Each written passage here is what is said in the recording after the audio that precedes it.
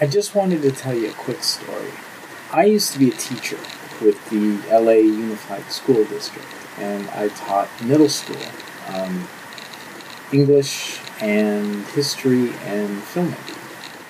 And one of my students, um, I'm not going to tell you the name, but uh, if he hears this, he'll recognize himself.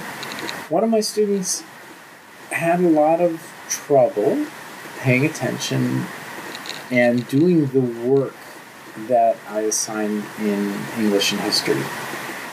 And here's the thing I come from a family of artists, uh, painter, painters, um, actors, writers, and I have great respect for the arts, and I really want to encourage them. But at that moment, I was an English teacher.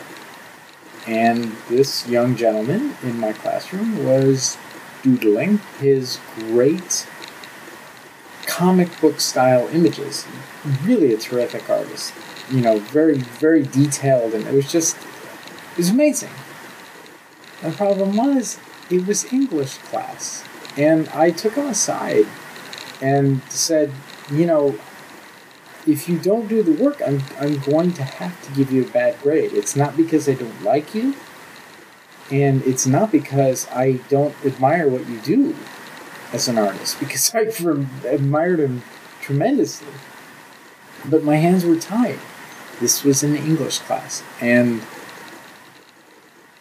I, that I, felt terrible because I had to give him a bad grade in the class, and I find that a lot of teachers are pressured to pass students simply because, well, you don't want to have that mark on the record or you don't want to make them feel bad or something like that. And the thing is this it's not about making them feel good or bad, it's about the system is set up that you're in this room and you do the work that is assigned to you for that class.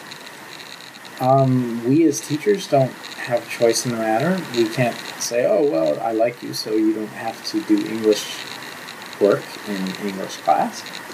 You can do artwork. Um, and, you know, it's, and, and the thing is this it's like telling a lie when you give someone a grade that they don't deserve. Because then all of your grades are called into question, just like a lie calls into question everything you've ever told anybody. Is anything true?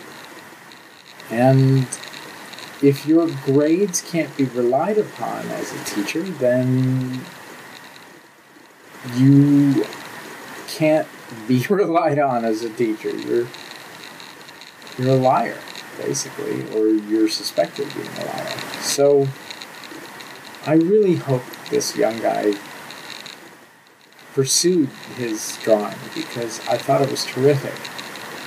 And I really wish him the best. So, I hope all of you have had a great weekend.